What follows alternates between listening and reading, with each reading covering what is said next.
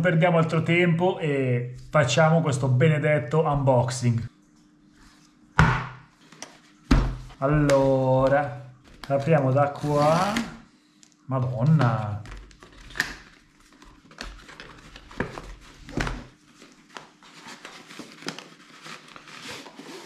La custodia è bella solida con la scrittina GoPro, molto bene. La apriamo. Uh! Allora, subito salta all'occhio questo affare, che dovrebbe essere dove si attacca la GoPro, si usa come manico. Bello. Impugnatura ergonomica, da questa parte anche un pochettino piatto, non so se lo riuscite a vedere da questa parte, che lo rende ancora più comodo da utilizzare. Poi abbiamo un sacchettino allora, questa è una molletta, vabbè, si può mettere così dove si vuole. Madonna, come stringe. Bello, molto fatto bene. Io ero abituato invece a una vecchia Nilox, a questa vecchia Nilox tra l'altro, che sempre la mia ragazza mi aveva regalato tra l'altro. che comunque finalmente ha fatto un salto di qualità perché questa fa cagare, non è stabilizzata, no, è uno schifo. Finalmente ha fatto un salto di qualità questo sacchettino non ci serve più. Poi qua dentro abbiamo il cavetto che sarà per la ricarica sicuramente, è di tipo C. Poi abbiamo un po' di agganci, un po' di vitine, un altro aggancio un po' più lungo, un altro coso da mettere sul casco.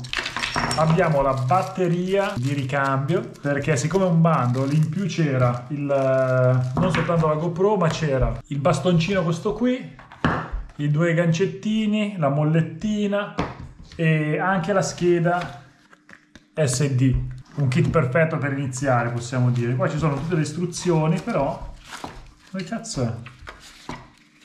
C'è tutto ma non c'è la telecamera. Raga, come cazzo è possibile? Manca la telecamera. Ma scusa. C'era tutto, a questo punto forse doveva essere qua dentro. Qua dentro c'era la batteria.